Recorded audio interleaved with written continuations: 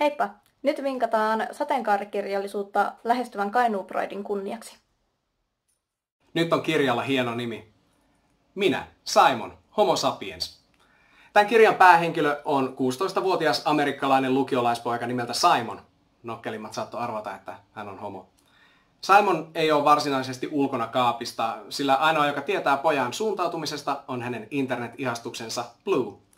Simon ja Blue tietää, että he käy samaa lukioa, mutta he eivät tiedä toistensa oikeita henkilöllisyyksiä, koska juttelee ainoastaan sähköpostin välityksellä käyttäen feikki nimimerkkejä. Bluun todellinen henkilöllisyys onkin yksi tämän kirjan kantavista arvotuksista.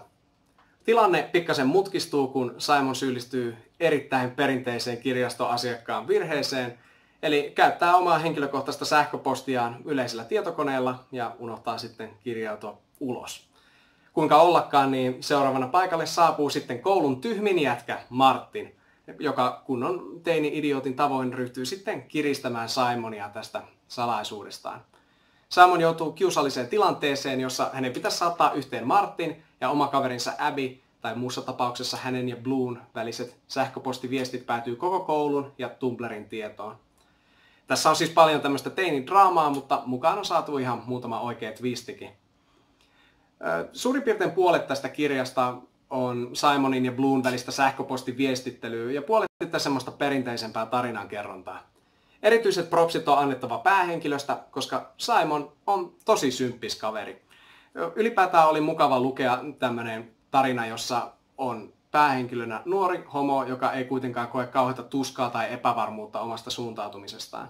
Simon on alusta saakka erittäin sinut itsensä kanssa ja pysyy kaapissa vain, koska hän arvelee suuntautumisensa olevan isompi juttu muille ihmisille kuin hänelle itselleen. Tässä kiristysjuonessakaan Simoni ei niinkään häiritse hänen oma maineensa, vaan se, että Blue joutuu tosi noloon tilanteeseen ja luultavasti pitää häntä sitten tollona. Öö, joo, ylipäätään tässä on nuorten väliset suhteet ja perhesuhteet käsitelty aika sydäntä lämmittävällä tavalla, joten suosittelen, jos kaipaa jotain kevyttä kesälukemista. Varsinaisesti tämä on suunnattu nuorille aikuisille, mutta kyllä tästä saa ihan aikuiset aikuisetkin paljon irti. Niko on poika. Hän tykkää pojista. Mitä sitten? Näin alkaa Reija Kaskiahon Nikottelua kirjan takakansiteksti. Ja kirjan päähenkilö Niko on tosiaan ihan tavallinen 17-vuotias, ja hänellä itsellään ei ole mitään ongelmia hänen homotensa kanssa, mutta melkein kaikilla muilla tuntuu olevan. No, onneksi hänellä on kuitenkin hyvä ystävä Lihis, joka ymmärtää ja kuuntelee silloin, kun isä ja vanhat kaverit käy hermoille. Ja yhtenä päivänä Niko sitten tapaa Jessen ja he alkavat seurustella. Ja kaikki on aluksi tosi ihanaa, mutta onko se suhde kuitenkaan semmoinen, mitä Niko oli ajatellut.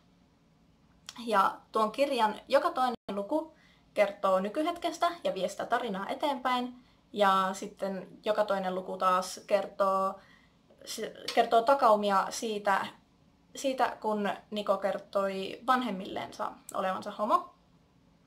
Ja mun oli yhtenä iltana tarkoitus lukea tuosta ihan vaan muutama sivu, mutta mä vähän innostuin ja luinkin koko, koko, koko kirjan kerralla ja mulla meni siinä vaan noin kolme tuntia.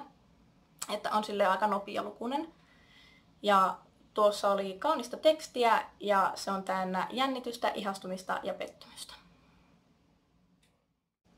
Eli mulla on tässä Mai Ristkarin, Nina Sunin ja Vesa Tynin teos Sukupuolena ihminen.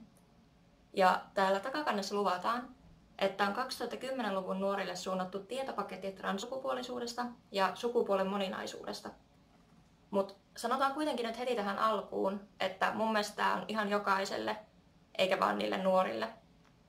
Tämä kirja oli osa semmoista isompaa projektia, joka kulki tällä samalla nimellä. Ja tässä kirjassa tätä sukupuolen moninaisuutta käsitellään sit paitsi sen tieteellisen tiedon, niin myös kokemuksen kautta. Sillä jokaisen luvun aloittaa semmoisen ihmisen kuva ja tarina, jotka oli mukana siinä projektissa. No, mitä tästä kirjasta sitten löytyy? Niin tässä on tietoa suomalaisesta translaista, sukupuolen korjausprosessista ja sit siitä takakannessakin luvatusta sukupuolen moninaisuudesta yleisesti ja sit sen historiasta kanssa. Ja tässä tämä teksti on semmoista yleistajusta, helposti ymmärrettävää että vaikka tämä aihe ei olisi ennestään tuttu, niin tämä kyllä opettaa aiheen pari ihan hyvin. Et esimerkiksi jos termit heteronormatiivisuus, sukupuolidysforia tai intersukupuolisuus ei ole sulle tuttuja, niin täältä löytyy sitten niihin semmoista tietoa. Mutta tässä kirjassa ei sitten ole pelkästään semmoista niinkö yleistä tietoa, vaan täällä on semmoisia listauksia sivuista, mistä voi löytää vertaistukea ja eri tahoista, joihin voi olla yhteydessä. Ja sitten listaa myös niinkö kirjoista ja elokuvista, joissa tätä sukupuolen moninaisuutta niinkö käsitellään tai missä se niinkö näkyy. Kaiken kaikkiaan tämä on tosi kattava paketti ja mä uskaltaisin väittää, että jos sä tartut tähän kirjaan ja luet tämän, niin sä katsot maailmaa ehkä vähän uudella lailla sen jälkeen.